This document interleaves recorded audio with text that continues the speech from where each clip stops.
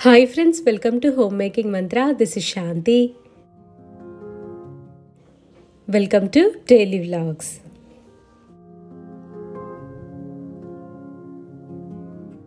నా సొంత ప్రయోగాలతో ఏవో ఒకటి స్వీట్స్ తయారు చేయాలని చూస్తూ ఉంటాను. ప్రోటీన్ లడ్డు చేశాను. నువ్వులు ఫ్లాక్ సీడ్స్ యూజ్ చేసి ఇంతకుముందు నేను చాలాసార్లు లడ్డు ప్రిపేర్ చేశాను ఇది నా ఓన్ రెసిపీ నేనైతే ఎక్కడ చూడలేదు. జస్ట్ థింక్ చేసి ఇట్లా వస్తుంది కదా అని ఒక లాజిక్ తోటి చేసేసాను. ఈ లడ్డు తినేటప్పుడు నువ్వుల టేస్ట్ ఎక్కువ తెలిస్తే బాగుంటుంది అని టూ హండ్రెడ్ గ్రామ్స్ వరకు నువ్వులు తీసుకున్నా. మిగతా పప్పులన్నీ మన ఇష్టం కావాల్సిన వేసుకోవచ్చు. వీటికి క్వాంటిటీస్ లాగా ఏమీ ఉండవు. మీకు పల్లీల ఫ్లేవర్ అంటే బాగా ఇష్టం అనుకోండి. ఒక టూ పెద్ద కప్పులు పల్లీలు తీసుకోండి. నాకు నువ్వుల టేస్ట్ అంటే చాలా ఇష్టం కాబట్టి నువ్వులు ఎక్కువగా తీసుకున్నాను ఇక్కడ. నువ్వులు కొద్దిగా ఫ్రై చేసుకున్న తర్వాత pumpkin seeds melon seeds sunflower seeds. ఈ మూడు కూడా చిన్న చిన్న కప్పులతోటి కొంచెం కొంచెం క్వాంటిటీస్ తీసుకున్నాను. షియా సీడ్స్ని వన్ టేబుల్ స్పూన్ కన్నా ఎక్కువ తీసుకోకూడదు. వాటిని నానబెట్టట్లేదు ఉడకపెట్టట్లేదు కాబట్టి అవి డబల్ ద సైజ్ అవ్వలేదు. అంటే మనం లడ్డు జస్ట్ రోస్ట్ చేస్తున్నాం కదా లడ్డూలోకి. సో అందుకని వన్ టేబుల్ స్పూనే తీసుకోవాలి. నువ్వులు వేయించుకున్న తర్వాత నేను మిగతావి ఎందుకు వేశాను అంటే మెలన్ సన్ఫ్లవర్ పంకిన్ సీడ్స్ ఇవన్నీ రోస్టెడే తీసుకున్నాను. అంటే మన ప్యాకేజ్డ్ వస్తాయి కదా రోస్టెడ్ అండ్ అన్సాల్టెడ్ అనమాట సో వాటిల్లో పచ్చి ఉండదు కాబట్టి నేను నువ్వులు వేయించిన తర్వాత ఇవి వేసుకున్నాను. కొన్ని గోజీ బెర్రీస్ ఉన్నాయి సో ఆ గోజీ బెర్రీస్ కూడా యాడ్ చేసా. లైట్గా స్వీట్గా ఉంటాయి. కావాలంటే డ్రై డేట్స్ కూడా కొంచెం చాప్ చేసుకొని యాడ్ చేసుకోవచ్చు. ఇవన్నీ చల్లారిన తర్వాత మిక్సీ పడదాము అని అనుకుంటే పవర్ కట్ అనమాట బయట చూసారు కదా వర్షం ఎలా వస్తుందో. యాక్చువల్లీ ఇలా వర్షం పడే టైంలో ఇంకా పవర్ కట్ అని చెప్పి నేనైతే చక్కగా షార్ట్ చేస్తా కూర్చున్నాను. నిన్ను మీరు ఈ షార్ట్ చూసే ఉంటారు కదా? రూమ్ టెంపరేచర్కి వచ్చిన తర్వాత మనం వీటిని గ్రైండ్ చేసుకోవాలి. కంటిన్యూస్గా గ్రైండ్ చేస్తే ఒక పేస్ట్ లాగా ఫామ్ అవుతుంది. అంటే ముద్దలాగా అవుతుంది. వాటిలో ఉన్న ఆయిల్స్ అన్నీ కూడా బయటికి యూజ్ అవుతాయి. ఇప్పుడు మన నువ్వుల్లో ఇంకా పప్పుల్లో అన్నిట్లో కూడా మనకు తెలియకుండా చిన్న చిన్న టైనీ అమౌంట్స్ ఆఫ్ ఆయిల్స్ ఉంటాయి. సో అవన్నీ కూడా చక్కగా బయటకు వచ్చి ఒక ముద్దలాగా తయారవుతుంది. ఆ ముద్దలాగా ఎందుకు రావాలి అని అంటే మన లడ్డు ప్రిపేర్ చేసుకోవడానికి చాలా ఈజీగా ఉంటుంది. కొంతమంది బెల్లం పాకం పట్టుకొని ఇలా వేయించినవి డైరెక్ట్గా కలుపుతారు. సో నాకు వాటికన్నా కూడా ఇట్లా గ్రైండ్ చేసుకున్నవి యాడ్ చేసుకోవడం ఇష్టము. అవి కొద్దిగా వేడిగా ఉన్నప్పుడే మనం బెల్లం పొడి కూడా వేసుకోవాలి. బెల్లం పొడి కూడా నేను ఎలా తీసుకుంటున్నా అంటే నువ్వుల క్వాంటిటీ ఎంత ఉందో అంతవరకు బెల్లం తీసుకుంటున్నాను. అంతకన్నా ఎక్కువ అవసరం పడదండి మనకి. టూ హండ్రెడ్ గ్రామ్స్ నువ్వులు తీసుకున్నా కదా కప్ మెజర్మెంట్లో వన్ అండ్ హాఫ్ కప్స్ వచ్చిందనమాట సో బెల్లం కూడా వన్ అండ్ హాఫ్ కప్స్ తీసుకున్నాను. ఆ స్వీట్నెస్ అయితే కరెక్ట్గా మైల్డ్గా సరిపోతుంది. మీకు ఎక్స్ట్రా కావాలంటే యాడ్ చేసుకోవచ్చు. ఒకవేళ మీ దగ్గర బెల్లం బ్లాక్స్ ఉన్నాయనుకోండి పౌడర్ చేసుకొని యాడ్ చేయొచ్చు. ఇవన్నీ కూడా చేతితోటి బాగా కలిపేస్తే ఒక ముద్దలాగా అవుతుంది. కొంచెం వామ్గానే ఉంటుంది. సో వేడిగా ఉన్నప్పుడే మీరు ముద్దలు కట్టేసేయండి. ఈజీగా ఉంటుంది. చల్లబడిపోయిన తర్వాత ఇలా రవ్వ రవ్వగా రాలిపోతూ ఉంటుంది. సో అందుకని నేను ఎప్పుడు కూడా వేడిగా ఉన్నప్పుడు ఇమీడియట్గా ఇట్లా ముద్దలు చేసేసుకుంటాను. లడ్డు అయితే చాలా టేస్టీగా ఉంటుంది. హెయిర్కి మంచిది స్కిన్కి మంచిది పీసీఓడికి హెల్త్కి ఏదైనా సరే హార్మోనల్ ఇష్యూస్కి అన్నిటికీ కూడా చాలా మంచిది. ఎందుకంటే పంకిన్ సీడ్స్ ఉన్నాయి నువ్వులు అసలు ఇంకా చెప్పవసరం లేదనమాట దీని గురించి. అంత మంచిదనమాట ఈ లడ్డు. ఫ్లాగ్ సీడ్స్ ఉంటే బాగుండేది. ఫ్లాగ్ సీడ్స్ కూడా ఒక చిన్న కప్ యాడ్ చేసేదాన్ని. సో మీ దగ్గర ఫ్లాగ్స్ ఫ్లాగ్ సీడ్స్ ఉంటే అవి కూడా యాడ్ చేయండి. హెవీ రెయిన్స్ వలన పవర్ కట్ అని చెప్పాను కదా సో ఇంకా పవర్ రాలేదు కానీ పూజ అయితే ఆగదు కదా. సిక్స్కి దీపం పెట్టేసేయాలి.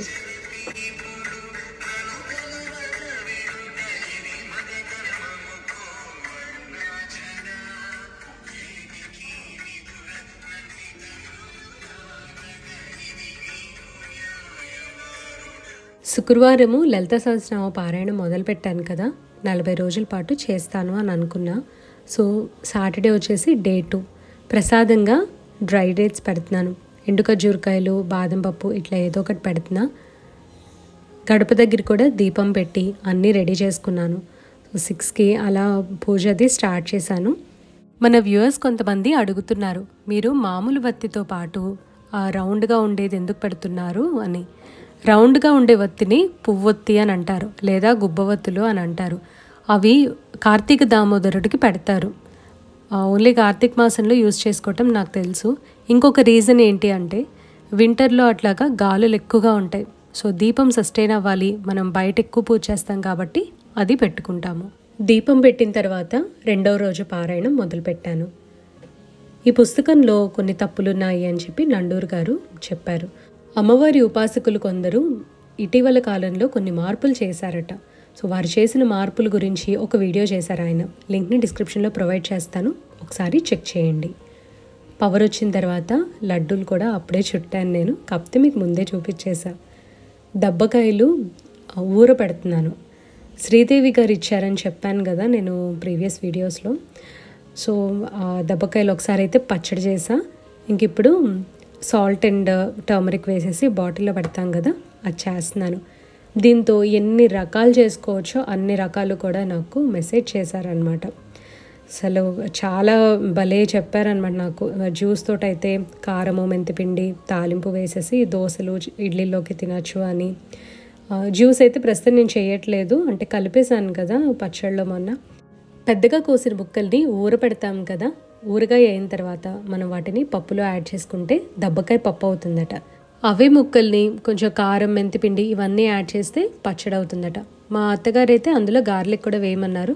అక్క వాళ్ళు గార్లిక్ తినరు. సో ఇట్లా మనం దబ్బకాయలు రకరకాలుగా యూజ్ చేసుకోవచ్చు. హెల్త్కి అయితే చాలా చాలా మంచిది ఇది ఉప్పు ఎలా తీసుకోవాలో అత్తయ్య గారు చెప్పారు. ఒక చిన్న కప్పు తీసుకోమ్మా ఫస్ట్. కొంచెం కొంచెం వేసుకుంటా. అట్లా లాస్ట్కి ఒకసారి బాటిల్లో పెట్టిన తర్వాత టేస్ట్ చూడు బాగా ఉప్పగా తగిలిందంటే నీకు ఉప్పు సరిపోతుంది బూజు పట్టకుండా బాగుంటుంది అని అన్నారు. సో నేను ఇలా ఒక చిన్న టంబ్లర్ తోటి తీసుకున్నాను. ఒక దబ్బకాయ కోసిన తర్వాత బ్యాచ్ వైజ్గా బాటిల్లో వేయటము కొంచెం ఉప్పు వేయటం పసుపు వేయటం ఇలా చేస్తూ వచ్చా అనమాట ఇదే ప్రాసెస్ని రిపీట్ చేయాలి. రెండు దబ్బకాయలు కూడా ఇట్లాగే వేశాను ఒకే బాటిల్లో వేసా మనకు కొంచెం టైట్గా అవన్నీ కూడా కుక్కేసామంటే చక్కగా మనకి జ్యూస్ బాగా బయటకు వచ్చేస్తుంది త్వరగా.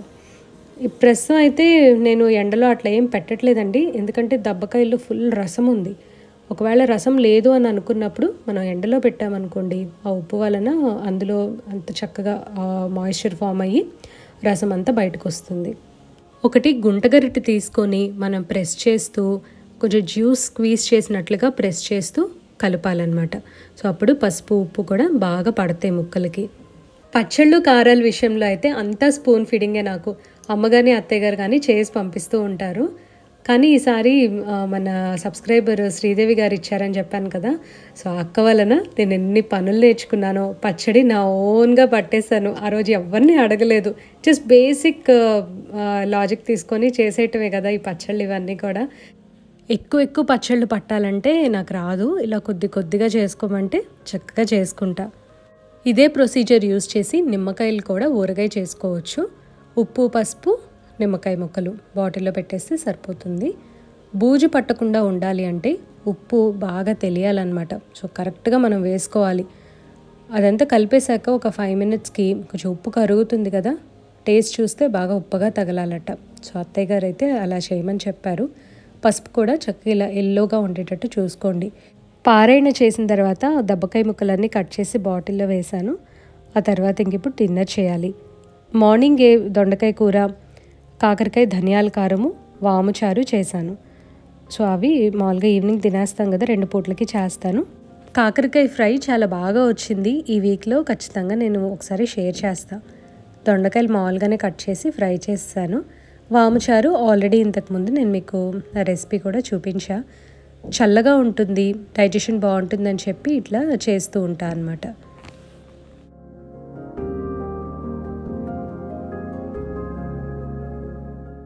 ఇదంతా కూడా సండే హెయిర్ వాష్ చేసుకోవడానికని కుంకుడుకాయ రసము ఫ్రిడ్జ్లోంచి తీసి బయట పెట్టా. కుంకుడుకాయ రసము ట్వంటీ డేస్ బ్యాగ్ది నేను ఫ్రిడ్జ్లో స్టోర్ చేసి పెట్టుకుంటాను.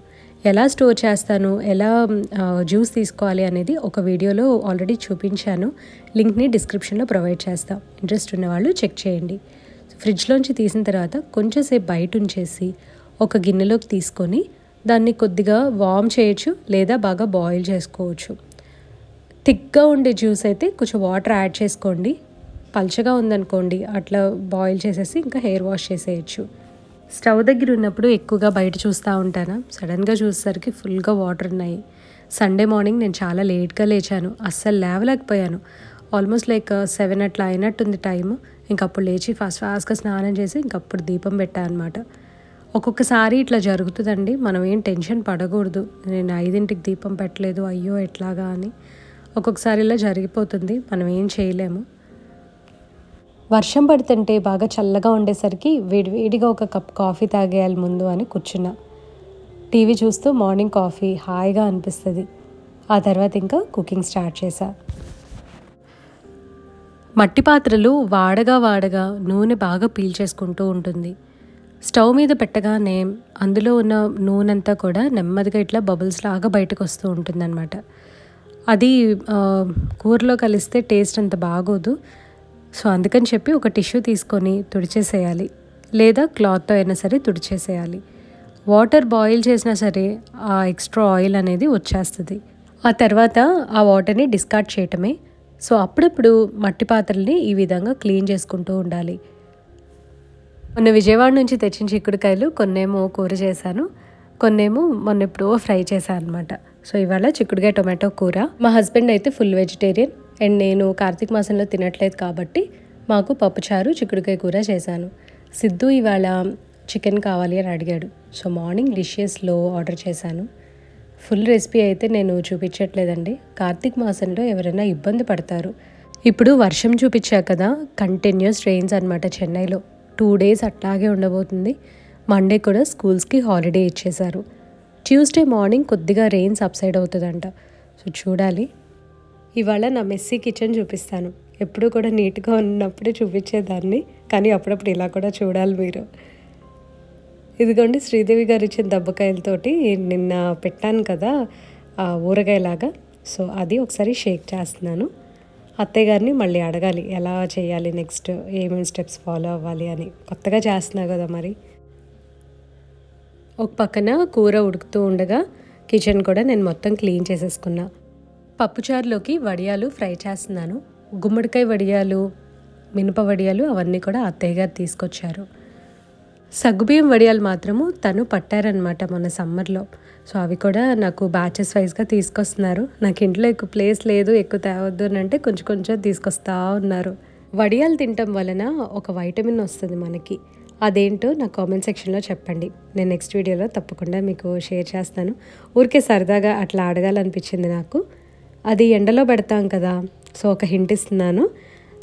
మంచి వైటమిన్ అనమాట మనకు అందరికీ చాలా అవసరమైనది. యాక్చువల్లీ ఇది నేను ఒక చోట విన్నాను. సో అప్పటి నుండి కూడా నిజంగా ఉంటుందా ఉండదా అనే ఒక డౌట్ ఉంటుంది నాకు. తర్వాత అయితే కొన్ని రిలేట్ చేసుకొని క్లారిఫై చేసుకున్నా. ఇక్కడ ఫ్రై చేసేది గుమ్మడికాయ వడియాలు. ఇవి స్టోర్ బాట్ అనమాట అత్తయ్యగా తీసుకొచ్చారు హైదరాబాద్ నుండి. బాగా ముద్దగా ఉండటం వలన అంటే ఇలా రౌండ్ బాల్ లాగా ఉంది కదా ఫ్రై చేసేటప్పుడు లోపల అసలు వేగట్లేదు. చాలాసేపు ఫ్రై చేస్తుంటే పైన మాడిపోతున్నాయి. సో ఇవైతే నాకు నెక్స్ట్ టైం కనుబుద్ధి కావట్లేదు. ఇవి మధ్యలోకి విరక్కొట్టి చేద్దాము అని అంటేనేమో పౌడర్ పౌడర్ అయిపోతుంది. సో ఇట్లా కొట్ల ప్రస్తుతం అయితే వేయించేసాను ఇవి చాలా బాగున్నాయి. మినపొడియాలు మంచి కలర్లో ఉన్నాయి. ఏదైనా సరే మాడకుండా తీస్తే దాని రుచే వేరు. సండే ఈవినింగ్ ఎక్కువగా సిద్ధుకి ఇష్టమైనవి చేసి పెడుతూ ఉంటాను. అంటే ఏదైనా స్వీట్స్ ఉంటాయి కదా కేక్స్ అని ఇట్లా పాయసము. పాయసం బాగా ఇష్టం దానికి ఇవాళ కస్టర్డ్ చేస్తున్నా. హాఫ్ లీటర్ మిల్క్ని బాయిల్ చేశాను. హాఫ్ లీటర్కి ఇంకొంచెం మిల్క్ ఉంటే ఇంట్లో అవి కూడా యాడ్ చేశా. కస్టర్డ్ పౌడర్ వచ్చి వనీలా ఫ్లేవర్ది ఒక టూ టేబుల్ స్పూన్స్తో నేను స్టార్ట్ చేస్తున్నా. ఇంకా వేరే ఫ్లేవర్స్ కూడా ఉన్నాయి. మ్యాంగో అని స్ట్రాబెర్రీ అని. సో మీకు నచ్చింది తీసుకోవచ్చు. ఒక బౌల్లో two tablespoons of custard powder తీసుకుంటున్నాను ఫస్ట్. కస్టర్డ్ పౌడర్కి కొంచెం వాటర్ యాడ్ చేసుకొని ఇలా మిక్స్ చేసుకోవాలి. పల్చగా ఉండాలి బాగా. తిగ్గా అసలు ఉండకూడదు. ఉండలు లేకుండా మిక్స్ చేసుకోండి. షుగర్ వచ్చి నేను ఒక చిన్న టంబ్లర్ తోటి తీసుకుంటున్నాను. కావాలంటే తర్వాత కూడా మనం యాడ్ చేసుకోవచ్చు. సో ఇంత చిన్న గ్లాస్ అనమాట నేను తీసుకుంది. పాలు బాగా మరిగించుకోవాలి.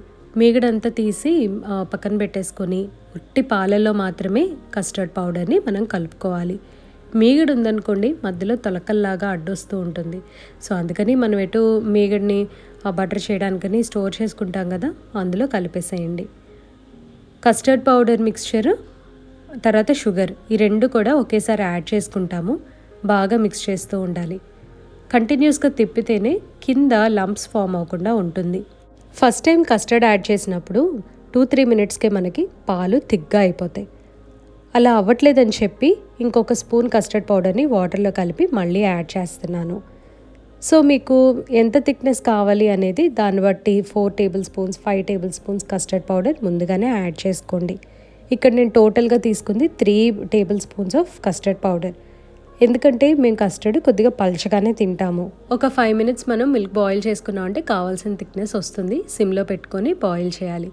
కావాల్సిన ఫ్రూట్స్ అన్నీ కట్ చేసి పక్కన పెట్టుకుంటాము. కస్టర్డ్ని ఫుల్గా రూమ్ టెంపరేచర్కి వచ్చిన తర్వాత ఒక గ్లాస్ బౌల్లో కానీ సర్వింగ్ బౌల్లో కానీ మనం చేంజ్ చేసుకుంటాము. ఆ తర్వాత ఫ్రూట్స్ అన్నీ యాడ్ చేసేసి ఫ్రిడ్జ్లో పెట్టుకోవాలి. బాగా చిల్డ్గా ఉన్నప్పుడు మనం సర్వ్ చేస్తే దాని టేస్ట్ చాలా బాగుంటుంది. ఇవాళ నేను చేసిన మిస్టేక్ ఒకటి చెప్తాను. ఫ్రూట్స్ ఎక్కువ యాడ్ చేసేసాము. అంటే ఒక ఫుల్ యాపిల్ ఒక ఫుల్ పొమగ్రనేట్ యాడ్ చేసేసరికి వాటర్ ఎక్కువైపోయింది. సో మేము తినే ముందు అంటే సర్వ్ చేసుకొని తినే ముందు కొంచెం పల్చగా అయిందనమాట అందుకని మీరు యాడ్ చేసుకునే ఫ్రూట్స్ క్వాంటిటీని బట్టి కస్టర్డ్ ఎంత థిక్గా ఉండాలనేది మనం డిసైడ్ చేసుకోవచ్చు. నేను ఇంకా థిక్గా చేస్తే బాగుంటుంది అని అనిపించింది. బనానా మాత్రము అప్పటికప్పుడు కస్టర్డ్లో యాడ్ చేసుకుంటే నల్లబడకుండా ఉంటుంది. పాలు విరుగుతాయేమో పులుపుకి అని డౌట్ వస్తుంది కదా అస్సలు విరగదండి. ఎందుకంటే మనం ఫుల్గా రూమ్ టెంపరేచర్కి వచ్చి కస్టర్డ్ అంతా చల్లబడిన తర్వాతే మనము ఫ్రూట్స్ యాడ్ చేస్తాము. ఇందులో ఇంకొకటి కూడా యాడ్ చేయొచ్చు. అది పప్పు చెక్క. ఇది మా ఫ్రెండ్ విజిత అని ఉంటుంది తను చెప్పింది అనమాట ఎప్పుడో మేము బీటెక్లో ఉన్నప్పుడు. సో ఇప్పుడు ఈ డిష్ని పైన ఒక అల్యూమినియం ఫాయిల్ తోటి కవర్ చేసేసి ఫ్రిడ్జ్లో పెడతాను. అట్లీస్ట్ ఒక one and half hours to two hours వరకు మనం ఫ్రిడ్జ్లో ఉంచాలి. అప్పుడు బాగా చల్లగా ఉండి ఐస్ క్రీమ్ లాగా మంచి టేస్ట్ ఆ కన్సిస్టెన్సీ అంతా కూడా చాలా బాగుంటుంది. సో చూడండి ఎట్లా ఉందో. పల్చగా ఇట్లాగే మేము తింటాము. కానీ ఫ్రూట్స్ ఎక్కువ అవటం వలన కొంచెం అంటే మనం తింటూ ఉంటాం కదా అట్లీస్ట్ ఒక టెన్ ఫిఫ్టీన్ మినిట్స్ పడుతుంది కదా. ఆ టైం కల్లా కూడా బాగా పలచబడిపోయింది అనమాట సో నెక్స్ట్ టైం అయితే ఇంకొద్దిగా దిగ్గా చేస్తా. ఈవినింగ్ ఫ్రెష్ అయ్యి దీపం పెట్టాను. నలభై రోజులు లలిత సహస్రనామ పారాయణంలో ఇవాళ మూడవ రోజు. మొన్న నేను ఒక వీడియో కూడా చేసి పెట్టా అండి. ఎలా మనం చేసుకోవాలి అనేది. జస్ట్ దీపం పెట్టుకొని చదువుకోవటమే పొద్దున కానీ సాయంత్రం కానీ ఎప్పుడైనా చేయొచ్చు. చదవటం వచ్చిన వారు రానివారు ఎవరైనా సరే చేసుకోవచ్చు. చదవటం రానివారు ఆడియో వింటూ బుక్లో చూస్తూ ఉంటే మనం నేర్చుకున్న అంటే నేర్చుకోవడానికి ఈజీగా ఉంటుంది. నియమాలు ఎటువంటివి లేవు. భూశయనం కానీ వేరే ఏదైనా ప్రత్యేక ప్రసాదాలు తలస్నానము ఇలాంటివి ఏవి కూడా అవసరం లేదు. బ్రహ్మచర్యం పాటించడం ఇలాంటివి ఏమీ లేవండి. పీరియడ్స్లో ఫోర్ డేస్ కూడా పూజనే స్కిప్ చేయొచ్చు. ఫిఫ్త్ డే నుంచి నార్మల్గా అన్ని పనులు రెజ్యూమ్ చేసుకోవచ్చు. ప్రత్యేకంగా నియమాలతో చేయండి అని అంటే చాలామంది ఇంట్రెస్ట్ చూపించరు. లేదంటే వారికి నిజంగా కుదరదు. సో అందుకని ఫస్ట్ మన మనకేంటంటే నేర్చుకోవటం చాలా ఇంపార్టెంట్ చదువుకోవటం చాలా ఇంపార్టెంట్. ఇవి అలవాటైతే స్లోగా మీకే ఒక సంకల్పం వస్తుంది. నియమబద్ధంగా చేస్తే బాగుంటుంది కదా ఒక్కసారైనా చేస్తే బాగుంటుంది కదా అని. సో అది ఎవరి పర్సనల్ వాళ్ళది కాబట్టి నేనైతే ఇట్లా పబ్లిక్ ప్లాట్ఫామ్లో నియమాలు పాటించండి అని చెప్పి నేను అనౌన్స్ చేయట్లేదు. నేను కూడా మీలాగే పూజ తర్వాత స్తోత్రాలు చదువుకోవటం ఇలాగే చేస్తాను కాబట్టి నేను చెప్పేదానికన్నా కూడా నియమాల గురించి ఎవరన్నా గురువుగారు చెప్తే బాగుంటుంది కదా. సో ఎవరన్నా అలా నియమబద్ధంగా చేయాలి అని అనుకునేవారు. నండూరు గారి వీడియో ఒకటి లింక్ షేర్ చేస్తాను. సో ఒకసారి అది చెక్ చేయండి. ఇవాళ పారాయణలో ప్రసాదం వచ్చి రెండు బాదం పప్పులు పెట్టాను. నేను ముందు కూడా చెప్పాను కదా ఫ్రూట్ కూడా పెట్టట్లేదు మేము ఎక్కువ తినట్లేదు వింటర్ అని చెప్పి అని. ఏదైనా సరే మన ప్రసాదము పారేయకుండా వేస్ట్ చేయకుండా చూసుకుంటే బాగుంటుంది. షణ్ముఖ శర్మ గారిని నండూరు శ్రీనివాస్ గారు మొన్న మధ్య కలిశారట. వారి డిస్కషన్లో లలిత సహస్రనామం గురించి ఇట్లా చెప్పుకున్నారు. ఇక్కడ వర్డ్స్ మనము రీప్లేస్ చేసుకోవాల్సి వస్తుంది. సో ఇక్కడ ఉంది కదా విషంగ వదతోషిత సో దాన్ని విసుక్ర వదతోషిత లాగా. కింద విసుక్ర ప్రాణహరణని విషంగ ప్రాణహరణ వారాహి అలా మార్చుకోవాలట. సో అది ఆయన వీడియోలో ఒకసారి చూడండి. క్లియర్గా మీకు తెలుస్తుంది. ఈ లింక్స్ అన్నీ కూడా నేను డిస్క్రిప్షన్లో ప్రొవైడ్ చేస్తాను. సో ఇదండి ఇవాళ వీడియో. మీ అందరికీ నచ్చింది అనుకుంటున్నాను నచ్చినట్లయితే లైక్ చేయండి కమెంట్ చేయండి. ఛానల్కి తప్పకుండా సబ్స్క్రైబ్ చేసుకోండి. Thank you for watching. Thank you for your time